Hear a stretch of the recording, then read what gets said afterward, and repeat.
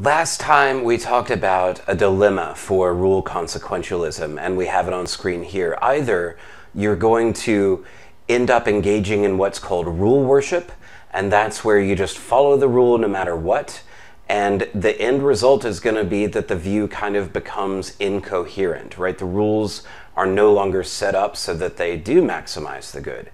So it seems like we would need to add uh, exceptions to these rules. But that leads to the other horn of the dilemma, what's called the collapse objection, where rule consequentialism just basically turns into act consequentialism, but with extra steps. If you missed that stuff or need a refresher, definitely look through it. I don't want to make this video longer than it needs to be because in this one, we're going to talk about like the rule consequentialist guy, Brad Hooker. Um, his view is really, really interesting and it's got a whole lot of nuance and it's sort of started its own like really big thing within the field of ethics. It's really fun to think about so let's dive in.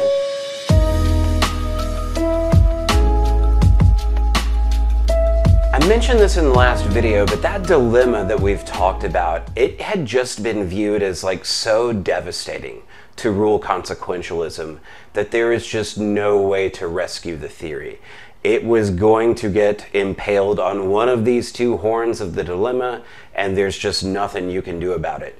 And so, especially from like the 1960s until the 1990s, uh, it was just sort of dead in the water. But it saw revival thanks in most part to Brad Hooker's work on The View and him trying to solve this dilemma.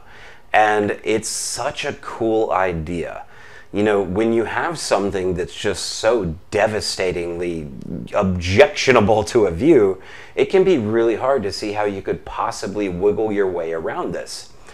So, what Hooker's going to do here is he's going to think about rules not so much in the way that, like, this rule, if everybody followed it, would maximize the good. Instead, he's going to think about rules that are like just generally good rules to have and good rules to teach. And this is all kind of captured here on this slide. So I've got three principles here in mind. Hooker probably has more than these, but these are going to be the most important, I think, to understand his view. So first off, when we are formulating these rules, we should not expect them to be uh, followed by everybody, right? We shouldn't think of them in terms of 100% compliance. Also, these rules should be internalizable, and we'll talk about what that means in a little bit. And then we also need to think about like what kind of societal impact these rules would have and how it would go about that we would teach these rules. This kind of ties in a little bit uh, to the second point here. But what we'll find is that if you if you have a rule or sorry, if you formulate rules in this general sort of way with these key ideas in mind, you're going to end up with a better system, one that actually does a better job of maximizing the good. Now, on this notion of compliance, so there's a couple of reasons why we wouldn't want to formulate rules as if everyone followed them. First, that's just not reasonable, right? Like, it's just a fact about humans that people are going to do wrong things at least sometimes. And so it's just not going to be a useful rule if we expect everybody to comply with it. It also, if we uh, were thinking about this in terms of everybody complying it, we would have no room for rules about retaliation, right? If you know that I have a rule that says that I'm going to retaliate against all attackers, you're probably going to be a lot less likely to attack me. But we, if we're thinking about this in terms of 100% compliance, then a rule about retaliation doesn't make any sense. So, there you go. Now, as far as what we mean by internalizable, this is a little bit tricky but I think once you start to see some examples, it'll kind of make sense. So, what we mean by internalizable a rule that is internalizable is one that people will actually follow and that people will recognize as good rules to follow.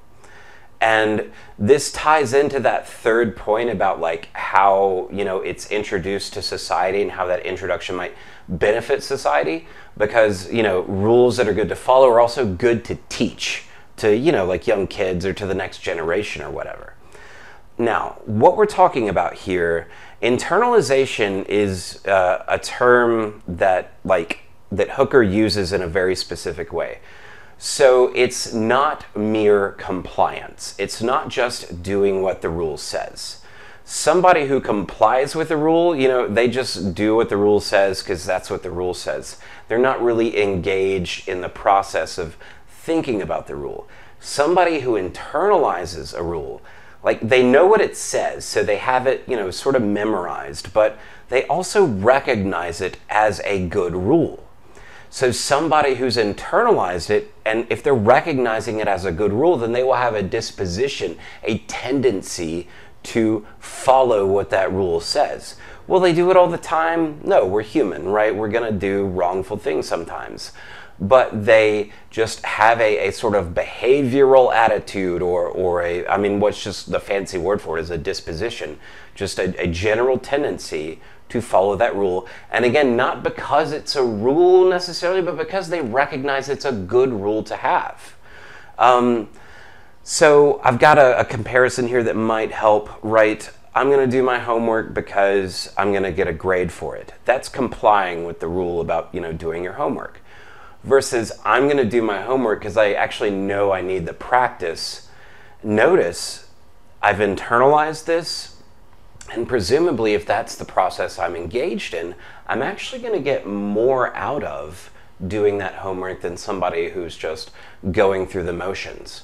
Um, if you drive, I mean, uh, most people drive, but uh, speed limits are one of those things that we generally recognize as a good rule to have but we also sort of understand what that rule is about. And, you know, it's like, well, given that, you know, there are houses, so residences in here, or given that this is a four lane highway, you know, uh, the speed limit can vary uh, depending on how curvy the road is, and all kinds of stuff goes into it.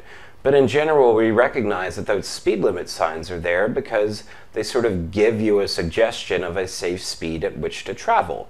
And I mean, everybody speeds, but you know, the general idea there is that you do recognize speed limits as a generally good rule to have. Uh, just like, I mean, a lot of traffic laws are like that. You stop at a red light because otherwise there would just be complete anarchy at intersections. Nobody would ever get anywhere that they're going. Do you occasionally run red lights? Like, yeah, probably. I mean, most people do. But that still doesn't mean that you don't recognize that it's a good rule to have. So that's what we're talking about uh, when we're talking about internalize or internalization or internalizability. Now, there's going to be some really cool results by requiring this element to rules. So first, every rule that we introduce in our system is going to have a cost associated with it. And some rules, right, like might be a little bit costlier than others. And by this, I don't mean like they're hard to follow, although that might be part of it. But what we're talking about here is just the mental cost of like learning and understanding what the rule is, the time cost of like teaching it to future generations and things like that. So there is always a cost associated with a rule. Um, and so what that means is we shouldn't just arbitrarily introduce rules unless they're needed, right? So I've got an example here that like rules about not like harming Martians. Like, I mean, that's a fine rule to have, but like there aren't any Martians. So there's a cost associated with it. And, you know, if we talked about it, you'd be like, yeah, okay, you know, if I meet a Martian, fine, I'm not going to harm it. But even that minor cost, there's literally no benefit to it. So we ought not introduce a rule like that. It wouldn't, once we situate it in society, it wouldn't have a, it wouldn't maximize the good because we'd learn it, but we'd never have the chance to ever apply it. Um, and a key idea here. Remember how we were trying to decide, like, should we add exceptions to these rules or not? Well, every exception that we add to a rule increases the cost associated with internalizing it. Just because it's like a little bit more complicated now. And the more exceptions you add, the more complicated that it gets, and the costlier that it gets to internalize it. And so you can imagine, right, if we took from the last video our don't kill rule and then added all of those bajillion exceptions to it, that's incredibly costly to internalize, if not impossible, right? And forget about, you know, trying to teach it to the next generation if we can't learn it in the first place. So, we're not going to be adding exceptions to these rules at all. If it says don't kill, that's what it says. If it says don't steal, that's what it says. So, we don't have to worry about the collapse objection. Rule consequentialism, remember, it only collapses into act consequentialism because of these exceptions. Well, if we don't have exceptions, then it can't collapse. So we're good there. But do you remember the other horn of the dilemma? Right? This idea of rule worship. How are we going to avoid this like situation wherein we might find ourselves in a situation where killing or stealing or something like that is so obviously better that it just seems foolish to comply with the rule. The way Hooker gets around this is he adds one extra rule to the set. And this rule says follow all rules except when doing so would lead to disaster. This is sort of like a disaster clause. It's an additional rule that we're going to add. And so remember, um, this is not an exception to the rule because what we'd have to do is change every single rule in the system. Don't kill except when killing would avert disaster. Don't steal except when stealing would. Right, and we'd have to do that to every single rule. So it would make the overall cost of the system for internalization, it would make that just kind of shoot up. So instead, it's just this one rule that's sort of about rules. It's like a meta rule. And it's just telling you, hey, follow the rules unless doing so would lead to disaster. And that is supposed to be, at least, the way that he avoids this dilemma. And at the face of it, it looks pretty successful. I mean, we have seen now a whole lot of work being done on rule consequentialism since the 90s, since this sort of got revitalized, and it's still ongoing stuff. Now, one thing to keep in mind, and this will kind of be important for the discussion post, we're going to be comparing these two views, and, and you'll have to sort of tell me which one you think is better. And by better, I don't mean that you like agree with it, you know, but, you know, uh, I might have given this example in the instructions, but like, you know, you might argue that Brussels sprouts are better than, I don't know, cyanide, but that doesn't mean you like Brussels sprouts. So, you know, you can argue that a view is better than this other view, even if you don't agree with either one. And that's what philosophy is all about, man. Like being able to argue for positions cleanly and clearly. Um, but if Hooker is to be successful, he needs to be able to show that his view has at least as much explanatory power as act consequentialism. And what that really kind of boils down to is, you know, getting a lot more cases right, for example, matching up more with our intuitions, and definitely for sure avoiding this dilemma. But I do want to quickly look at a couple of obje- objections here. Uh, the first one, and this is actually kind of, I'm worried this is going to be too tricky to follow. So this is more for like, I just find it an interesting objection. I wouldn't test on something like this. But with rule consequentialism, right, the rules can change depending on if the situation on the ground changes. And so these rules depend on a lot of contingent facts about the way the world is. In other words, the, the world is a certain way, but it didn't have to be that way, right? So we have a very particular evolutionary history and a very particular sort of psychological makeup and brain chemistry um, just the, the facts about the world and, and who's starving and who's suffering, right? Those are also facts that, you know, might not have been true. And so you could sort of imagine a world that's like quite different from ours, that humans are very different psychologically and, and all this. And it could be the case that this world has just an entirely different set of rules for rule consequentialism. And the objection here is that, you know, if morality is like objective, if it's like an actual thing, it seems like there's at least some moral truths that would be true in, in every world, no matter what kind of world you could imagine. That's the general idea behind this objection. I think it's really interesting to think about, but it gets pretty tricky immediately because we're sort of talking about possible worlds and, and sort of metaphysics stuff that you're not going to know a whole lot about. But I will say uh, the, one of the bonus things that we do is considering rule consequentialism in a world where there's a zombie apocalypse. So you know, it's not um, completely unconnected to like other assessments in the course.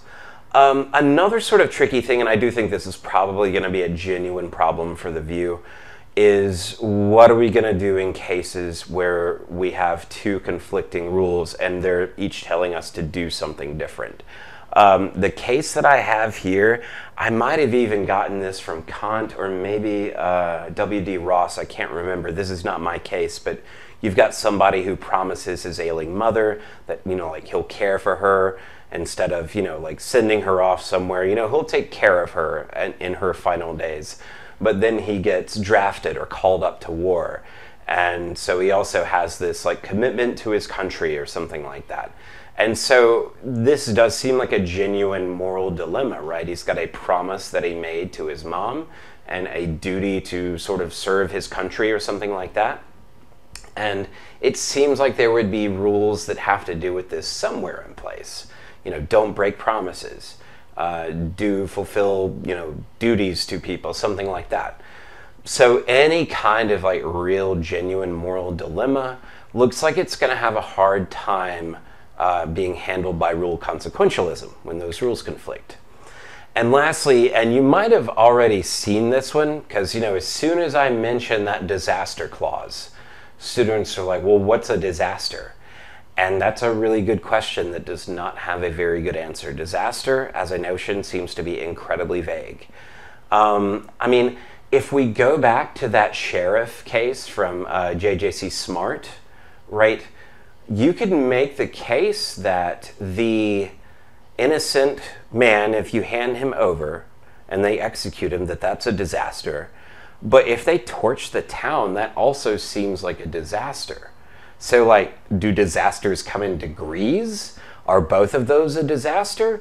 Is like it just sort of subjective and just up to you to determine whether something is, is a disaster? Like, that wouldn't be a great result so we need some kind of rigorous methodology, decision procedure for figuring out if some possible outcome is a disaster so that we know that we need to avoid it in order to follow that rule.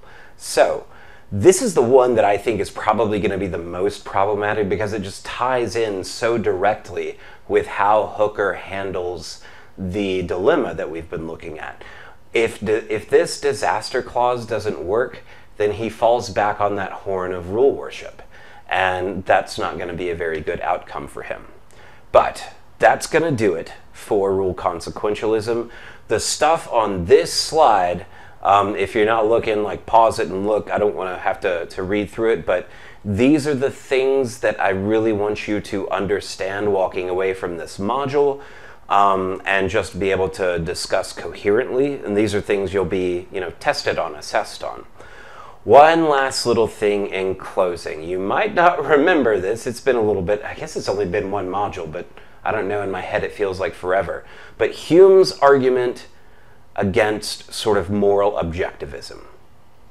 If you remember, so this was one of the arguments that we looked at, and it relies on this idea of look, the only kinds of sort of objective truths that are out there are relations of ideas and matters of fact. So things like 2 plus 2 is 4, or, you know, Earth is the third planet from the sun, right? Stuff you can go out and investigate, or that you can just understand in, by like understanding the terms involved. And Hume says, look, moral truths aren't either of those things. Premise three here is especially important. Moral truths are not empirical matters of fact. But are they? I mean, this entire time we've been talking about thinking about like how, you know, different uh, views or different actions can affect people in the world, how we can learn new information and include that kind of stuff in our moral thinking. And so it looks as though both act and rule consequentialism are enough to show that this premise is at least problematic, if not just completely false. Both of these views seem to be um, just based on empirical stuff. And that's a very cool idea. So that's going to do it for consequentialism. In the next module, we'll be looking at the other really big ethical theory called deontology. In the meantime, let me know if you have any questions. Get your reading quizzes done, get your module tests done, and we'll talk about deontology in the next module.